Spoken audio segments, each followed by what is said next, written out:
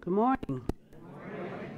Greetings and welcome to All Faiths Unitarian Congregation. Ooh, I'm glad to see you all. We kind of packed in here this morning, and I think I know why. Today we are in for a treat. Our speaker today has titled the message Freedom Over Fascism. Now, I don't know about you, but I am very intrigued and looking forward to your message. My name is Alberita Johnson, and around here I'm known as the minister. here at All Faiths, you will find a diverse and inclusive spiritual community where we welcome people with many beliefs.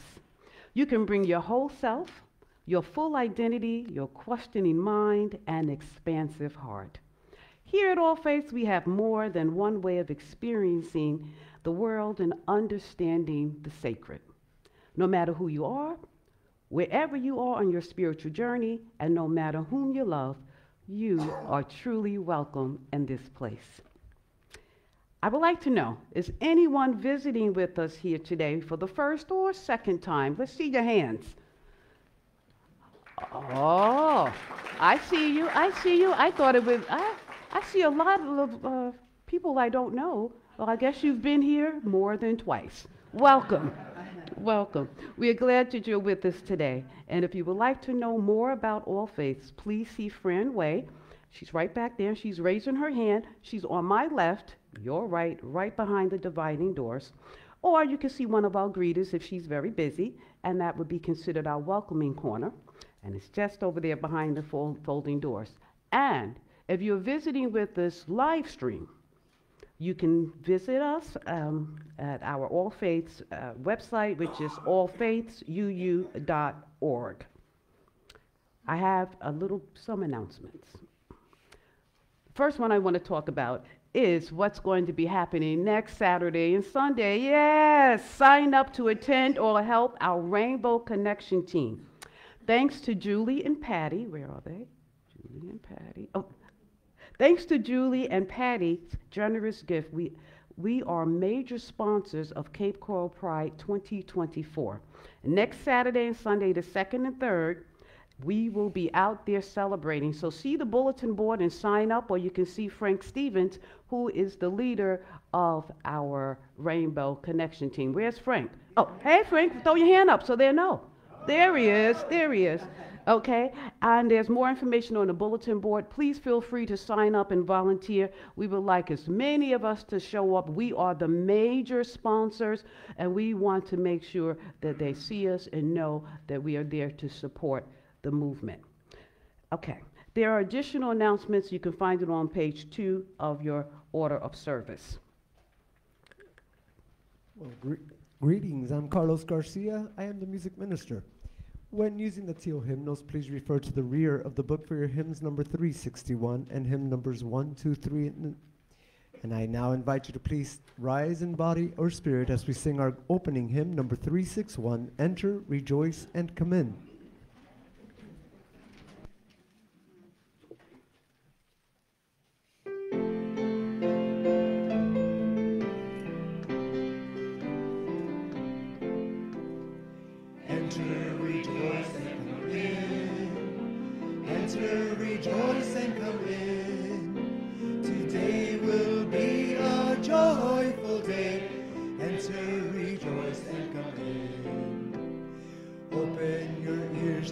song.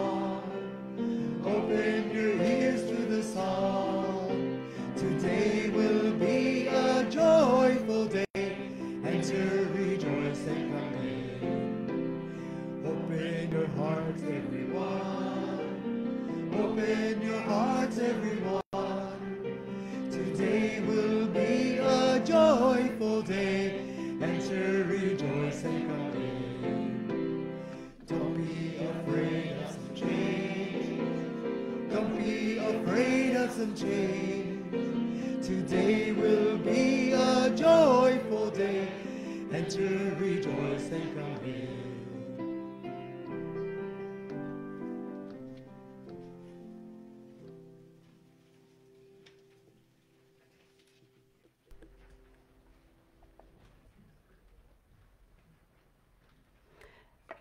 As our chalice lighter, Erica, comes forward, please recite the words in your order of service.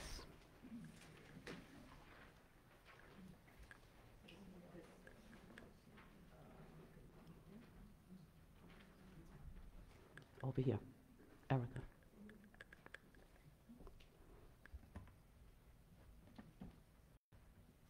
There you go. So much This- candles in action up here can confuse a person. I understand. This single flame burns. Burn for more than one thing. For those who seek and defend the right to a free and responsible search for truth and meaning, so that each person may live according to conscience in a democratic elected Thank you. And for the defenders of freedom, working against those who would impose their own religious beliefs on others through intimidation or legislation.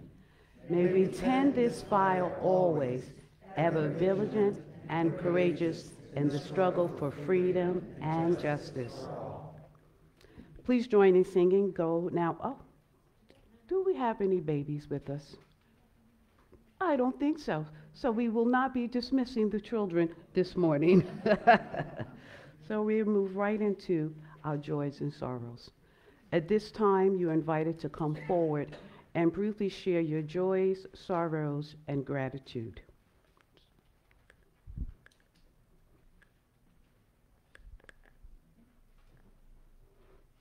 Ahoy, Peter Erickson.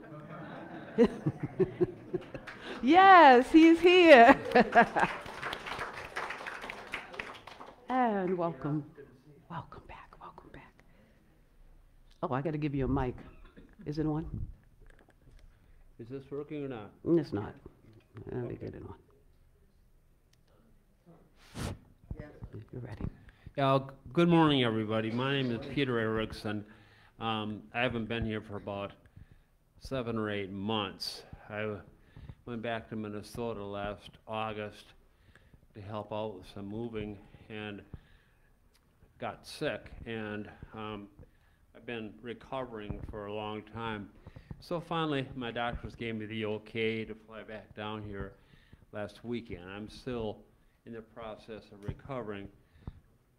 You can tell my, that I'm short of breath, but um, it's a great joy to be here and to see everybody. And I'm just glad to maybe try to get back into a normal lifestyle again. Um, my sorrow is that I um, just can't be here all summer. I got to go back, follow up medical appointments in Minnesota, and keep my recovery going. So that's my sorrow, but I'll be back later this summer um, and hope to be able to stay uh, through uh, the fall. But anyway, it's great to see everybody, and I want to thank everybody for sending me good uh, get well cards. That really meant a lot to me. So I'm back for about a month now, I think, and it's great to see you, and I'll look forward to being back here. Thank you. Oh, welcome back. Welcome back. Yes, come light your candle. You could step down there. It'd be a little easier.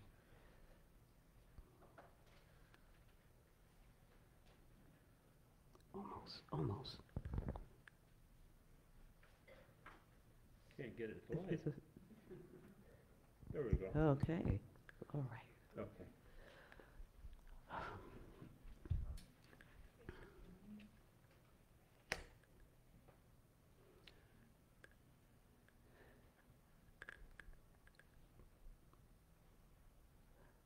I'm going to light a candle for Nicole Racine's mom, Marie.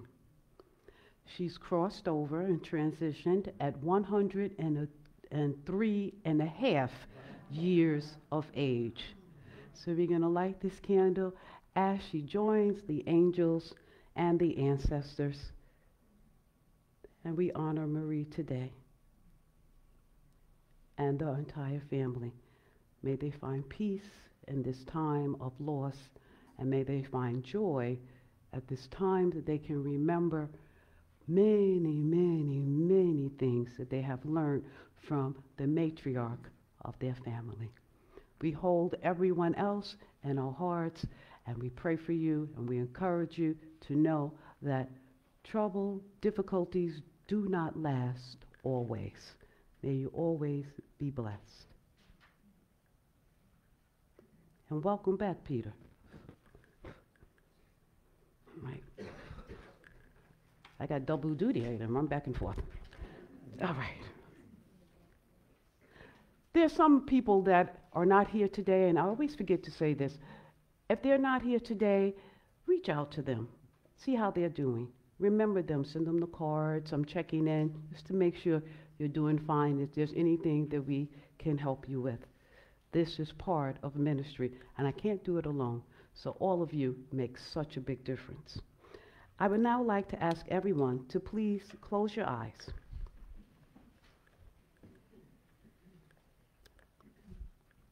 Take a deep breath and let us turn our minds and hearts to today's service and contemplate our blessings.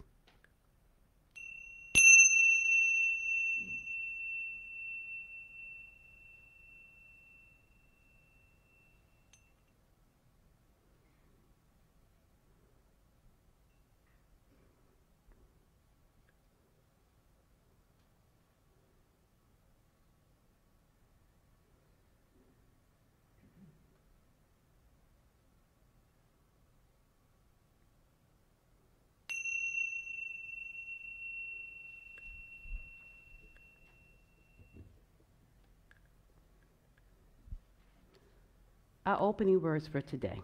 It's called This Faith. Oh, I think I missed something. Spirit. Please rise in body or spirit as we sing together. Hymn number one, two, three, Spirit of Life. Let us rise.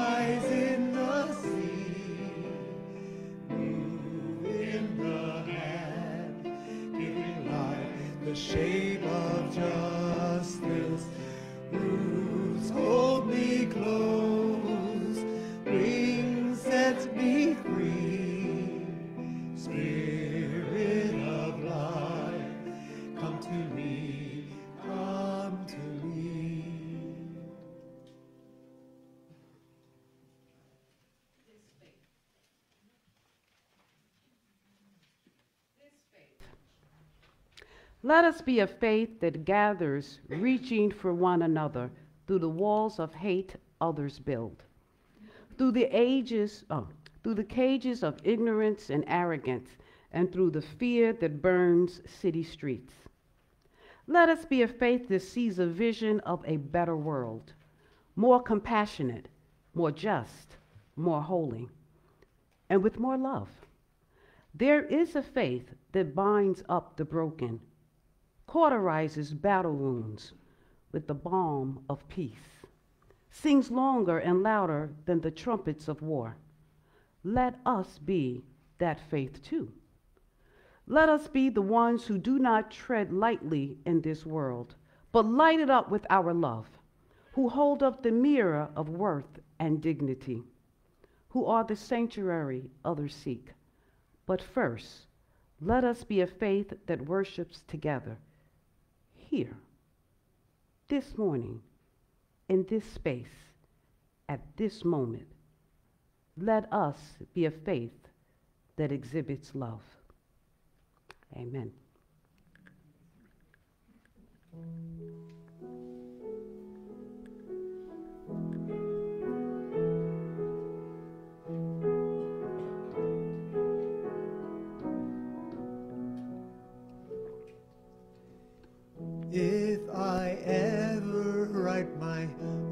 to freedom.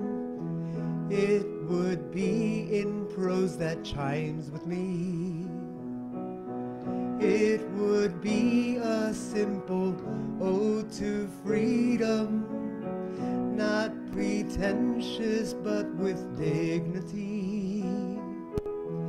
I would like to think that freedom is more than just a and lofty language. Oh, Odes to freedom often go unheard.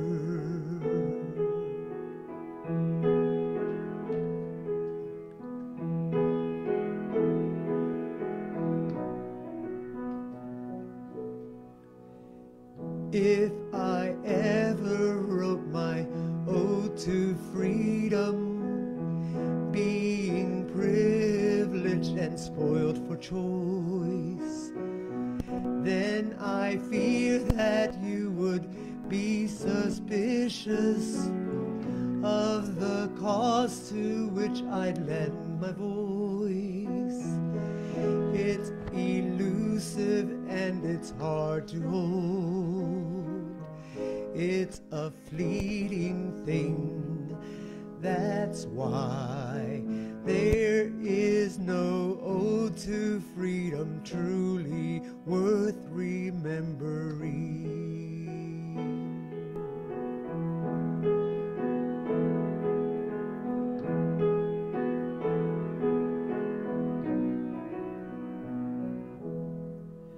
I wish someone would write an ode to freedom that we all could sing.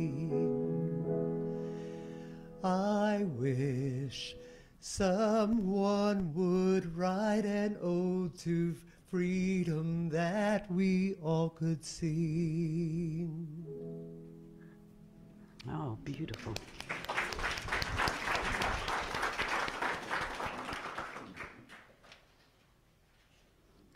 Our reading for today is Beyond the Zero Sum Game by Nathan C.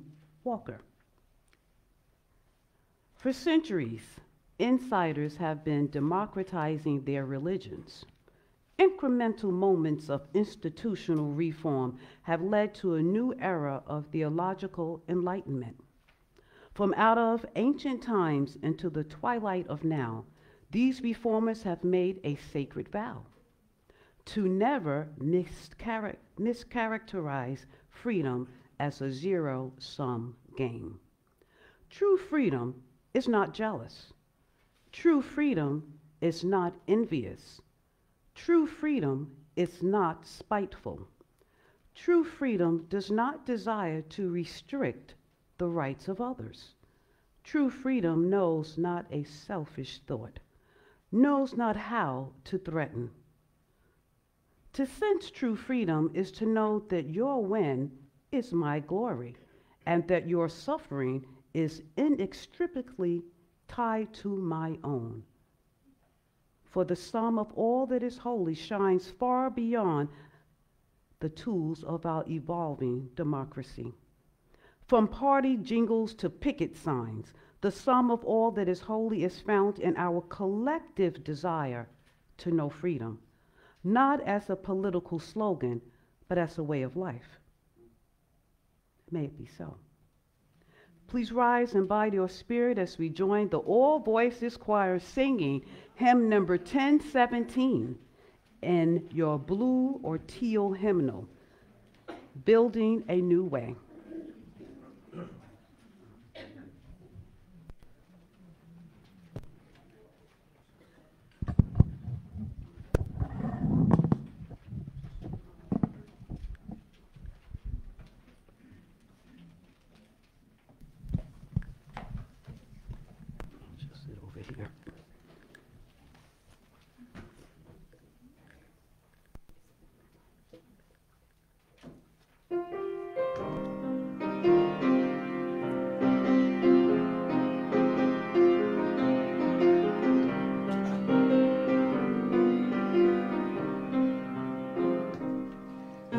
We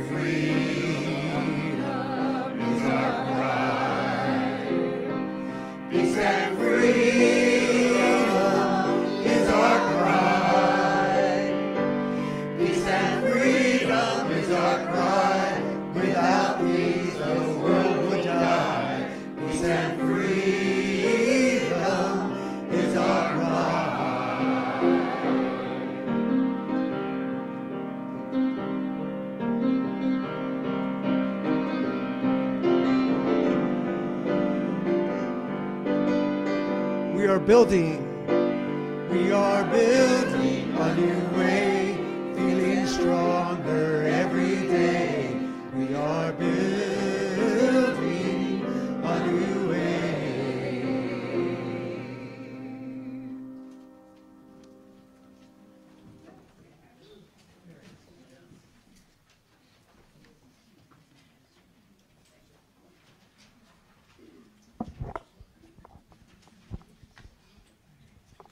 Good morning, everyone. It's my great joy today to introduce our speaker, Jim Nathan. I've known Jim Nathan for 40 years, and I still recall in the 1980s at the UU Church on Clifford when he was sitting on the floor on the stage, surrounded by children, telling them about Jewish traditions. Jim was also a founding member of All Faiths. At the current time, he is executive in residence and an adjunct professor for FGCU, Marieb College of Health and Human Services. And he served Lee Health as president and CEO from 1981 through June of 2017. Now, when I first met Jim, he was the CEO of Lee Memorial Hospital, one hospital but he built that organization to include four acute care hospitals, a rehab hospital, a children's hospital, two skilled nursing and rehab facilities, a home health agency, a regional cancer center, regional trauma center, and multiple physician practices and outpatient services. During his tenure, Lee Health grew from 1,200 employees to over 14,000 and received many recognitions, including top 50 hospitals in the nation and AARP top employers in the nation, a national leader in diversity. Jim has been a national keynote speaker on many healthcare topics and has testified before the U.S. Senate on issues related to health care delivery and financing. I asked Jim this morning what he does on Sundays. Does he take rest? And he says, I never rest. and if you see his whole resume, I could spend the rest of the morning here covering it. Um, he's been engaged in so many things. Currently, he's a co founder president of Floridians for Democracy. He also founded Southwest Florida Voices for Racial Justice. And many years ago, along with Wayne Robinson and other spiritual leaders, he helped to form Lee County Pulling Together. So he's been very, very active. A few of his many recognitions, person of distinction for the past 25 years from the news press, lifetime of distinction from the Florida Hospital Association, and here's my favorite part. For 53 years, he has been married to Karen, who has her own PhD. She's an author and education consultant, and she's very active in many of these activities too. They have grown sons, A to Z, Adam to Zachary, and two grandsons, six rescue grand doggies, six rescue grand cats, and three big grand dogs. And here's Jim.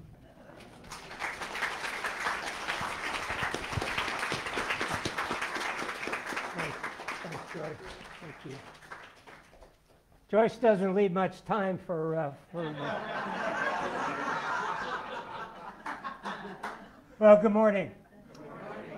When joyful Joyce um, asked for a title, I quickly said Freedom Over Fascism. It was pretty easy. I was inspired by Dr. Stephanie Gerber Wilson, a Massachusetts political strategist, with an impressive podcast of that title. She broadcast from Indiana, a red state, to gain a better awareness versus her home state. She wants to beat back fascism in America. As enlightened members and friends of All Faiths congregation, you already know that Florida is fast becoming the state where democracy is in peril. I call Florida the canary in the democracy coal mine. Where voting and the right to speak freely are suppressed, where school books are banned on whim, not reason, where academic freedom and critical thinking among students and faculty in public education and universities is thwarted, where cultural freedom is blocked, where women's reproductive rights are controlled by the state, where LGBTQ and transgender people are under attack in education, in healthcare, and fundamental rights, where businesses and elected officials that disagree with the governor's agenda are punished, where the rights of local governments to make local decisions based on their needs are blocked, where minorities and freedom of thought and freedom of living without fear are suppressed, and where the checks and balances of science, education, media, judiciary, and much more are demeaned and controlled by a minority who are certain they know more through their lens of white Christian America. One year ago this month, on a beautiful Saturday morning, my wife Karen, our family's creative new venture project person, said, We have a new project. the 1939 project. I knew immediately to what she was referring, as we had been discussing our growing concerns that the nation and Florida were becoming increasingly authoritarian, with an apparent rebirth of the 1930s America First fascist autocracy. We could not be silent. Before the day was over, we had our first partners in a journey that has led to the creation of Floridians for Democracy, incorporated statewide, nearing 900 participants dedicated to protecting democracy with national and state pro democracy collaborations. On this beautiful Sunday morning, I'd like to introduce you to a few amazing, inspiring individuals this journey has blessed me to meet. Their stories and their unrelenting energies have energized me in what has become more than a full time volunteer mission. Dr. Robert Hilliard, 97 year old Sanibel resident, professor, author, trailblazer in public broadcasting, and twice injured World War II hero, is credited with getting President Eisenhower to get emergency medical and basic living supplies to Germans and Jews in the aftermath of the war who were being ignored. And he was under the threat of court martial from his immediate superiors. Bob is the strongest voice for protecting and preserving democracy that I've encountered in this journey. He fears that we're not moving fast enough. His clarion call is articulate, loud, and clear. Bobby Block, Executive Director of Florida First Amendment Foundation, was only months into his new role when we met last spring. Bobby shared, quote, nothing could be more meaningful than empowering citizens, journalists, and lawyers to protect our most treasured rights to worship freely, to gather and protest, to speak out against corruption and misrule, and to oversee the inner workings of government. Nikki Fried, past Florida Commissioner of Agriculture and gubernatorial candidate, is only a little over a year into our effort to revive and strengthen the Florida Democratic Party. That's a challenge by itself. Only weeks into her new role, Nikki and 10 others, including FFD's youngest board member, were arrested for trespassing after police instructed them to disperse by sunset, which they didn't do. They were protesting the six week anti abortion bill, which ultimately passed. David Pepper is former chair of Ohio Democratic Party, teacher of voting rights, and author of Laboratories of Autocracy and of Saving Democracy. David is a grassroots, never stop, focus on the long game advisor. He's an expert on gerrymandering, voter suppression, and how the MAGA GOP has used these strategies to capture state houses and pass extreme policies in many red states. David advocates that everyday people, like each of us, can take action to save democracy with an organized effort to get out the vote. Karen Swoboda is the president and co-founder of Defense of Democracy, created to oppose MAGA school board members can- candidates. Karen initially thought that Moms for Liberty was a Florida phenomenon until she learned that one of the candidates in her Hudson Valley, New York community was running under the slogan, Christ is King, and endorsed by Moms of Liberty, Moms for Liberty. Concerned for her school aged children, in May 22, Karen and her co founder began putting up signs Teachers shouldn't be preachers.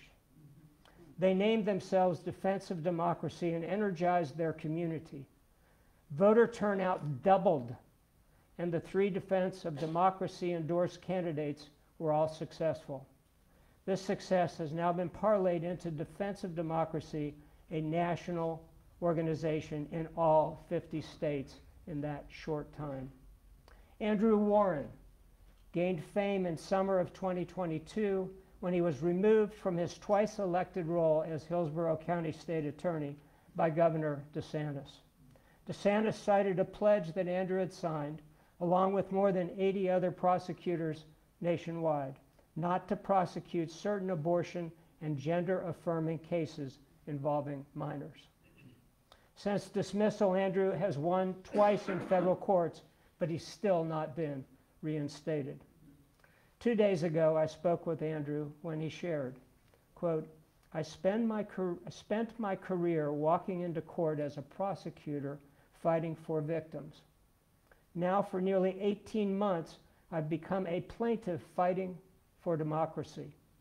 To make sure that elections still have meaning, to make sure that no one can steal the people's votes or silence their voice and to make sure that we don't need permission slips to exercise our constitutional rights. Stay tuned. You will hear more of Andrew Warren. Simon Rosenberg, a longtime Democratic consultant, was one of few prognosticators in 2020 to predict that there would not be a huge red wave. He gave up a successful political advisory business to bring hope and optimism through his Hopium Chronicles to create a grassroots army to fight MAGA. He is heavily involved in many potential swing campaigns throughout the nation. David Jolly, former Florida Republican U.S. Congressman, hosted our pro democracy summit. He's now seen regularly as a commentator on MSNBC, sharing that his former party is now owned by MAGA. David regularly explains the concerns for the emerging autocratic movement that reveres Orban, Erdogan, Putin, and Xi above democracy. Brynn Tannehill, a graduate of the U.S. Naval Academy and Air Force Institute of Technology with degrees in computer science and operations research, is a naval aviator who did four military deployments. She has worked in defense research and is author of American Fascism. Brynn co authored the 2020 Biden campaign's LGBT policy for service members and veterans. With her articulate knowledge comparing the 1930s buildup of fascism in comparison with today, we invited her to speak in person.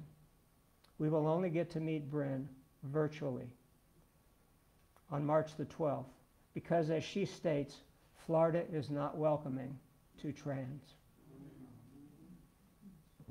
She emailed, as an aside, she emailed me this morning the first draft of her slides for March the 12th, and she said, I know these are pretty ugly, but there's not enough fear yet. Briefly, here's a few more freedom fighters in this one year journey that I've had the honor to meet. Dr. Ruth Ben-Ghiat, professor, author of Strong Men, who presented fascism on our doorstep. Dr. Norbert Goldfield, founder of Healing Across the Divides, committed to improving the health of marginalized Israelis and Palestinians before October, and now even more of a challenge. And founder of Ask Nurses and Doctors, to help educate and elect individuals who believe in science and medicine to national office. Dr. Pat Okker, former president of New College, removed by the new DeSantis appointed board, dismantling a national liberal college, GEM, in favor of converting it to the Hillsdale College of the South.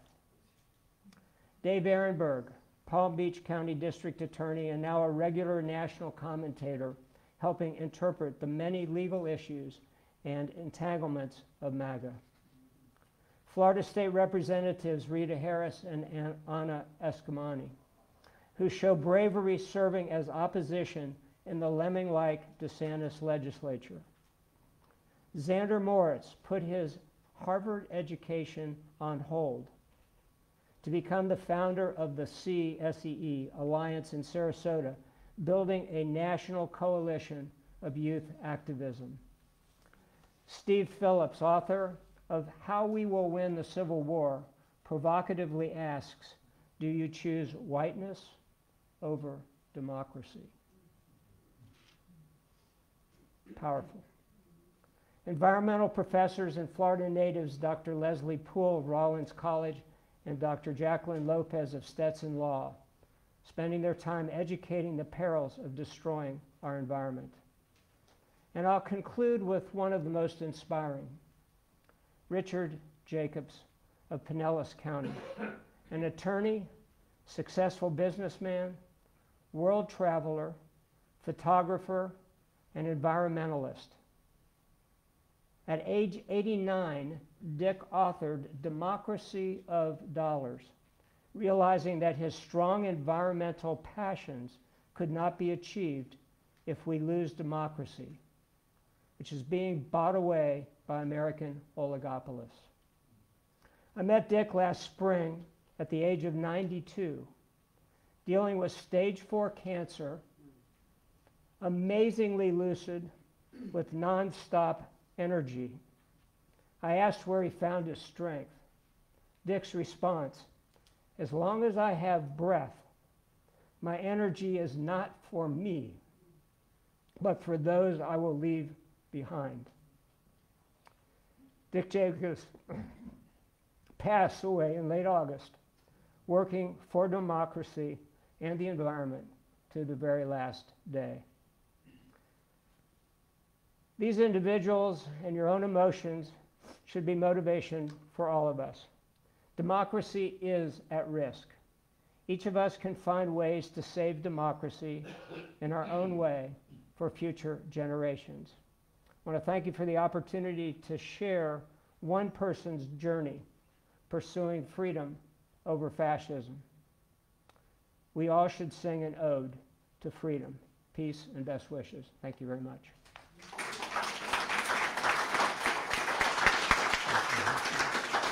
I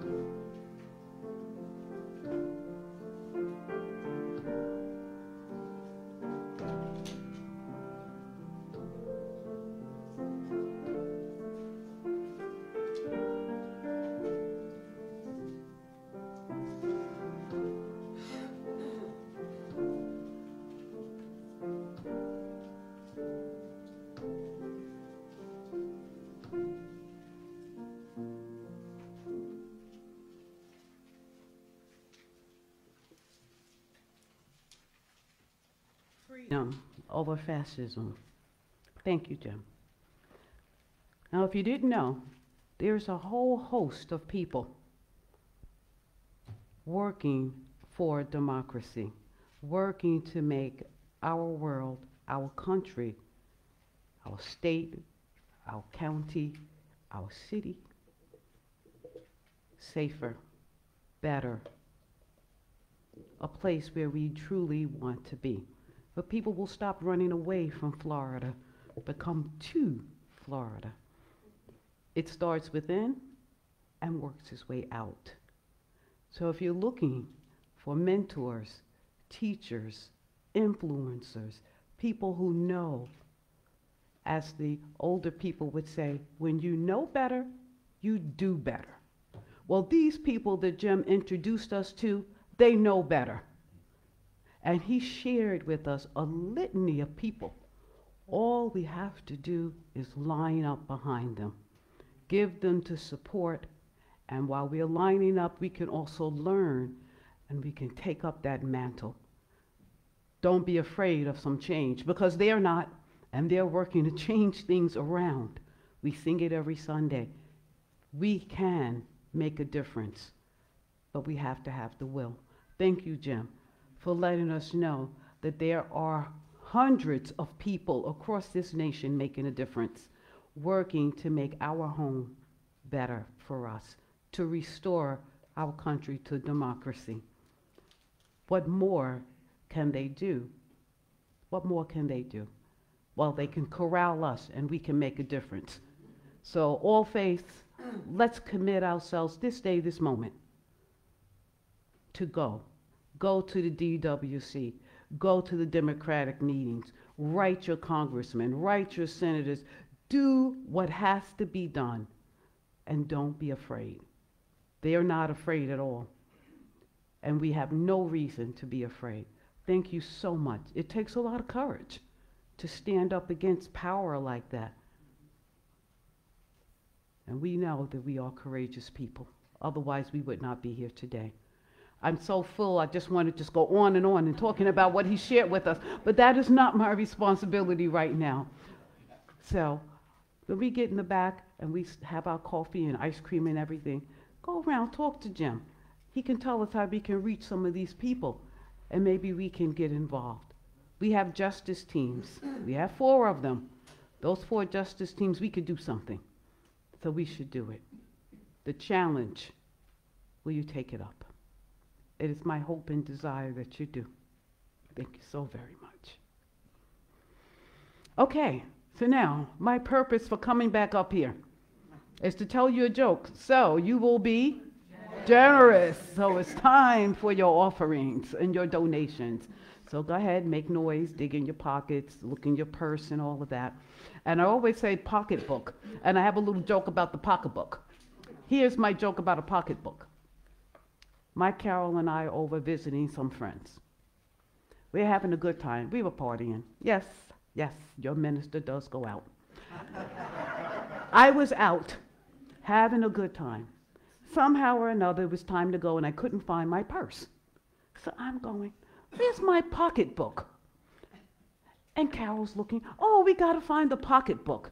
The other girls, where's the pocketbook? We're looking all over the house, looking for the pocketbook. About five minutes goes by. And one of the girls turned around and says, What is a pocketbook? I couldn't believe it. A pocketbook. This is the, tr- it sounds like a joke, but it really did happen. And I realized they were from the West Coast. And I think they're a little younger. And I don't know what happened on the West Coast with people over 60. But I guess they just went to purse and forgot about a pocketbook, which reminds me of a billfold, which is what my father used to call his wallet. Where's my billfold? So, there's my joke. Do you know what a pocketbook is?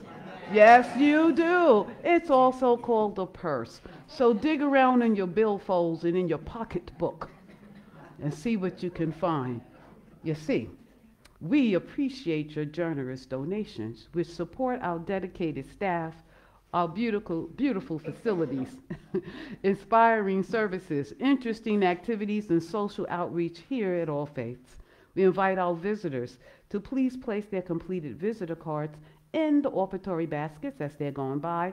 And if you happen to be with us live streaming, please mail your checks or you can visit our website to make your donation at allfaiths.org. uu.org. Our offering will now be taken.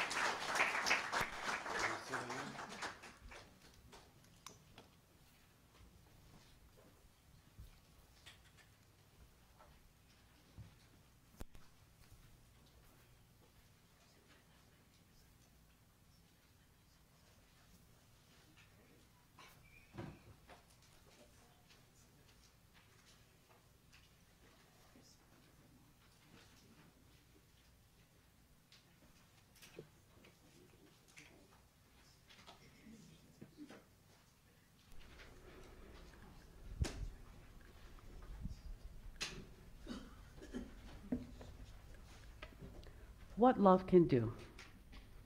We show the world what love can do. Thank you, choir. You were wonderful as usual. Love those harmonies. And now, our closing words. Oh,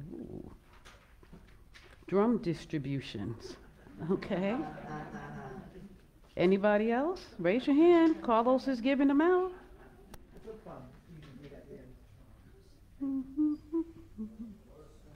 Nice, nice.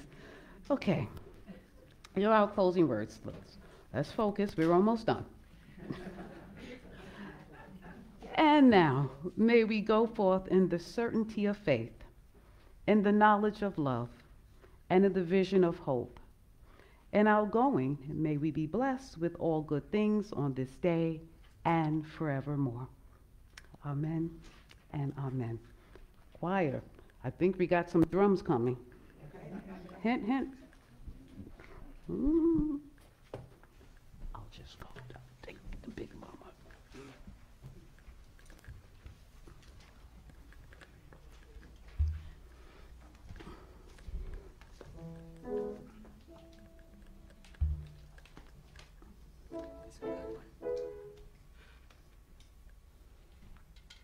So beat is simple.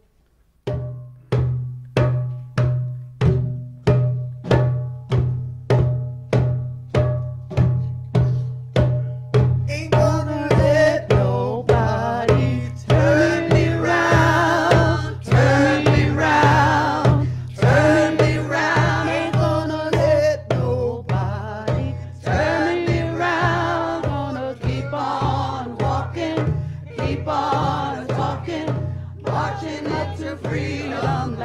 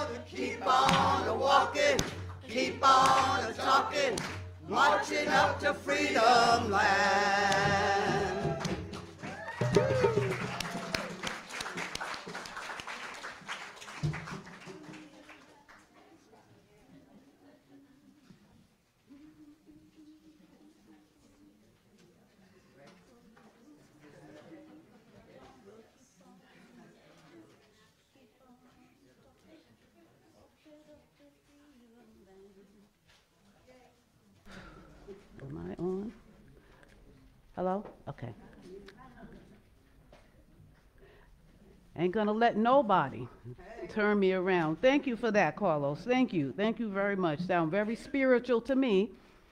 Yeah, yeah, like a black spiritual. It's, if it's getting there, if it's almost there, we could do it. We could do it. we could do it. We could clap, rock, and sing all at the same time. Ain't gonna let racism turn me around, turn me around, turn me around. Ain't gonna let racism turn me around. I'm gonna keep on walking, keep on walking, marching up to freedom land. That's right. When you get out there, when we line up behind those gentlemen and ladies and siblings, that would be our trans siblings, we have to remember you make noise. Don't hold back. March like you're proud. And when you get scared, lock arms. Do what you have to do. All right?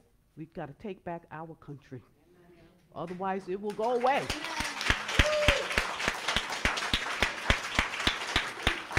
Don't let it turn you around. I start feeling emotional, so so let me not go there. We thank you. We thank you. We thank you. We thank you, Jim Nathan, for your inspiring and thought-provoking message today. I don't know about you all, but it inspired me a great deal. And when I heard the ages of some of these people, even on their dying bed, how dare us sit?